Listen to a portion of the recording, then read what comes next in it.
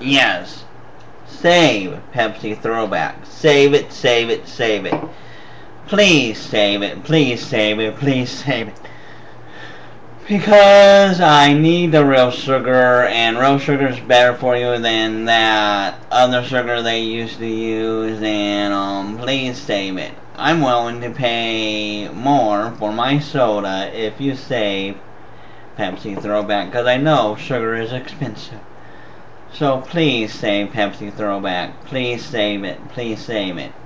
I'm doing this video in response to this video. Okay? Um, talk to you later and have a great day.